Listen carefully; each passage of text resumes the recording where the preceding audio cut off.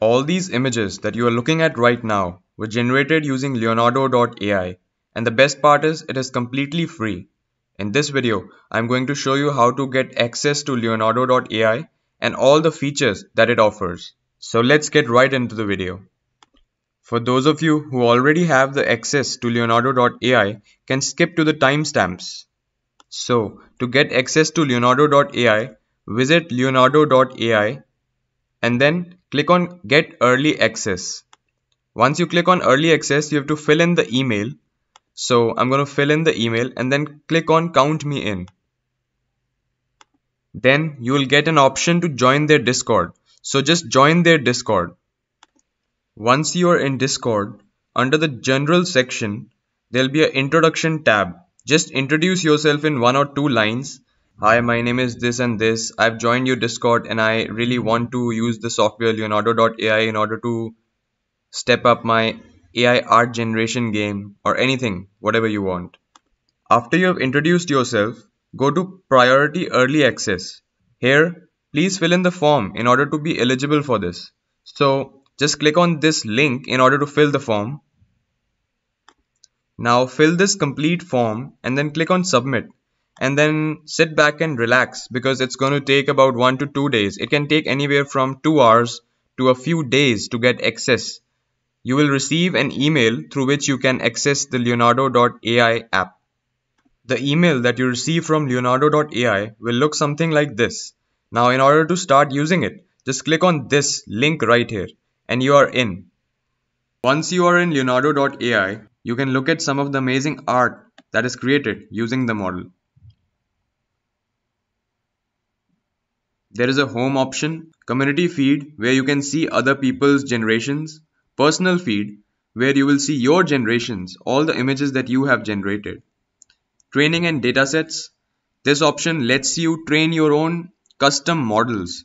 We will talk about this in a separate video because this is a bit complicated. Then you have fine-tune models. Fine-tune model is somewhat like themes. You have different themes to create different style of images.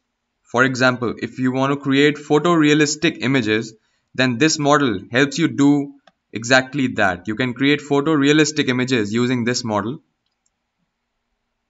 If you want to specifically create some weapons, then you can use this fine-tuned model and then you can click on generate with this model in order to create some weapons of your own. This simplifies your image generation because as all of you know, you need to put a lot of effort on writing your prompts in order to get some amazing looking images.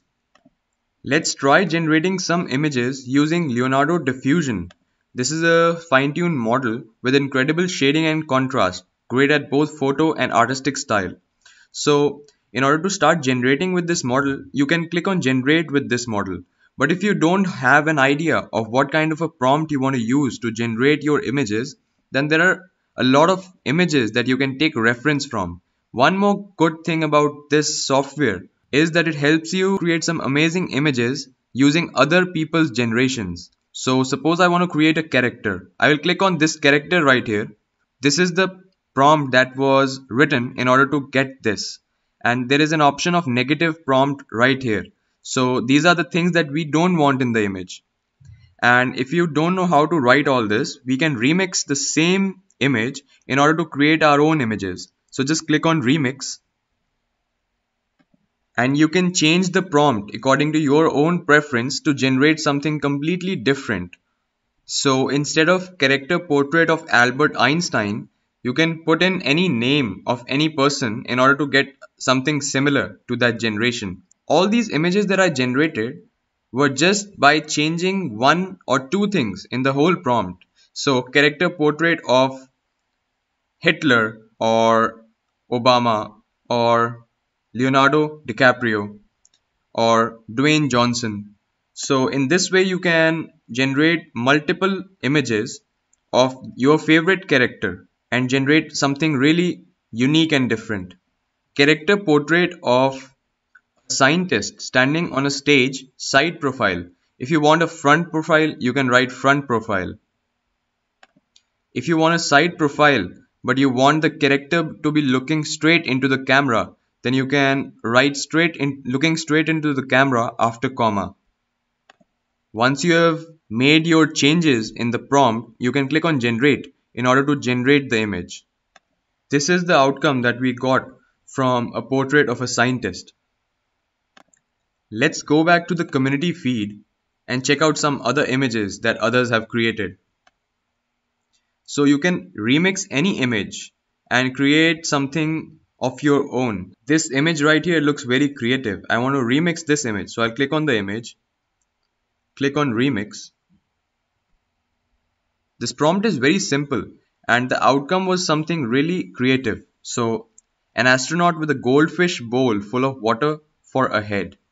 Click on generate and let's see what other images get created. These are some of the images that were generated. Let's try putting in our own prompt and see what it generates. So an old wooden ship stuck in a storm, bottle art, storm in a glass bottle. So I click on generate and these are some of the amazing images that are generated. Now there are a few other options that I want to go through. You can remove the background of the image. You can upscale the image. You can unzoom the image. You can download the image from right here. So it is better to upscale your image and then download it in order to use it somewhere. Fine-tuned models make it really easy to generate images. You can browse through fine-tuned models from right here instead of going back and browsing you select different style and you'll get different images.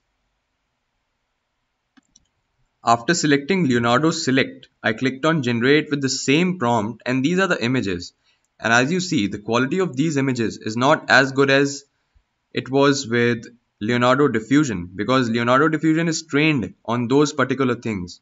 In order to generate images with these other models, you need to write some more details. But if you're not that good at writing your own prompts, you can always use Leonardo Diffusion and some other fine-tuned models. You need to experiment and go through all the models in order to know what works best for you. You can set the images, the number of image generations you want, the image dimensions, guidance scale, step count. You can also generate your own prompts from right here. Click on prompt generation Enter a basic idea and Leonardo.ai will generate some prompts for you that will get you some really good results. If you want to directly visit Leonardo.ai and access the image generation, click on AI image generation and then you can select from any fine-tuned model and start generating your own images. Now let's talk about the AI canvas. The AI canvas is a unique feature which lets you edit images in a very different way that you have never seen before.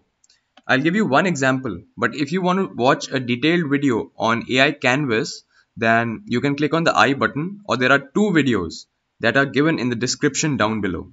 Just to show you how it works, to upload the image, you need to click on this upload image tab and then you can upload image from a computer, from previous generations, from community. Let's upload an image from community.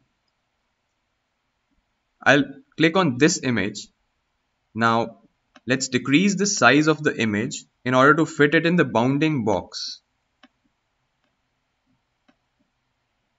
After the size of the image has decreased, just click on the bounding box and we are going to expand the image. So just place the image. One thing before placing the bounding box is click on snap. This will help you place the box in a more efficient way. So we can expand this image and make it look like it was never a smaller image. So just write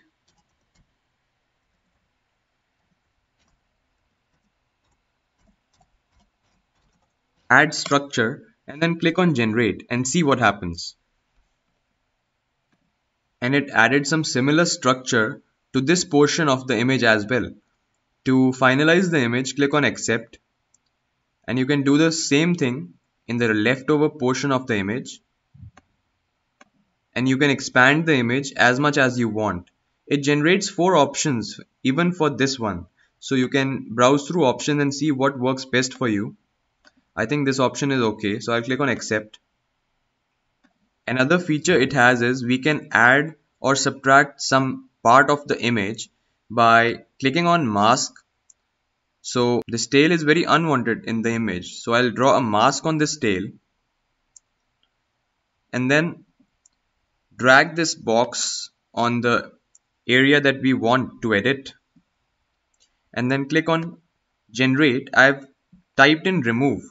You can experiment with different prompts, different wordings in order to get some better results. Let's see. And the tail was removed. This also has some options that we can choose from. Click on accept and this is our final image.